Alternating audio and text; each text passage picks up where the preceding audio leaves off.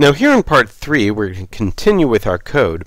Now like all great tutorials it's not a whole lot of fun until you mess up and so of course we've messed up some things and so we have to fix it. Number one I've only given IDs to certain things so I'm going to give IDs to a few more things so it's a little bit more hybrid approach between HTML4 and HTML5 the way that we're used to. So this aside is going to be the sidebar that's on the left um, then we have our article here, and our article is really the content if we look at it, but um, that's one thing I might not put uh, an ID around because we could have more than one article on a page. So I usually don't put um, articles or I don't put um, IDs on articles because we often have more than one article within a page, especially if we have like a blog, and it will see be something like article um, class equals blog entry. So I might even do class equals content. Then we have a section called extras, and then we have our footer, and this is the ID equals page footer. Now, if we're calling that page footer, then we might want to call this one, instead of masthead, page header. So that would kind of make sense, maybe. That way we know that it is um, the page header versus a section header, or something like that. Now another debatable thing that we have here is whether or not we should be wrapping this section with um, the content area with a section wrapper. Now the reason that this is an issue is because, I don't know if you remember us talking about the outliner, but that outliner is going to want to generate something new inside that section.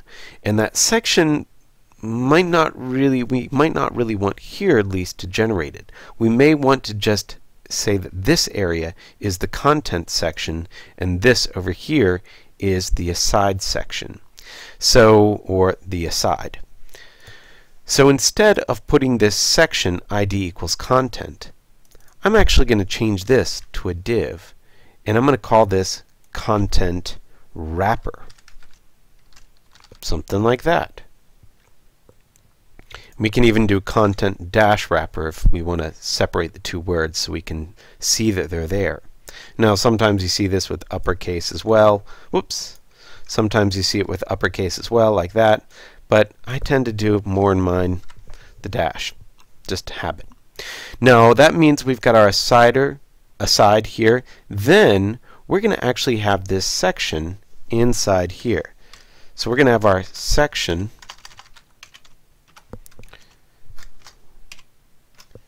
and that section is going to be ID equals content. Now I can finish that section up here. Oh, I have the section already finished there. I can finish that after the article, which is the content. And I know that's kind of redundant, but for right now, just go with me.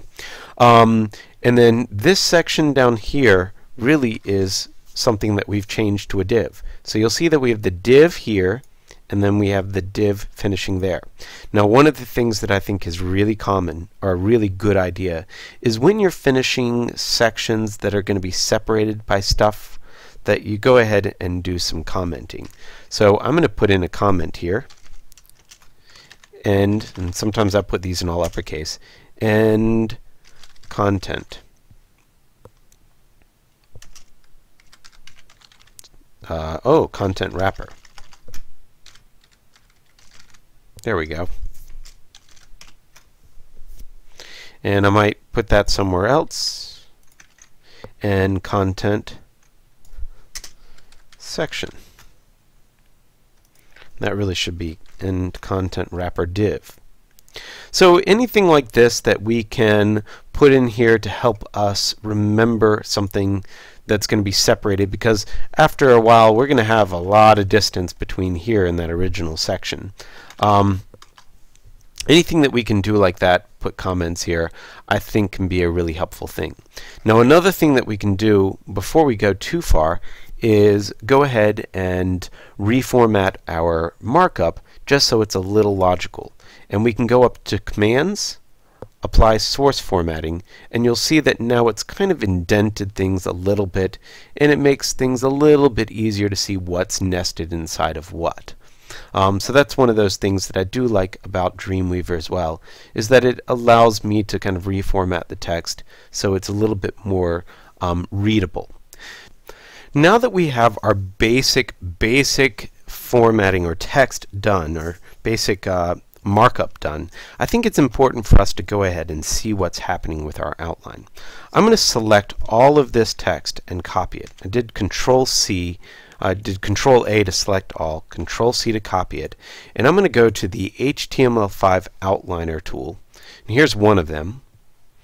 And I'm going to take all that code and paste it in here and just see what happens with this outline. You'll see this one shows me what's kind of going on.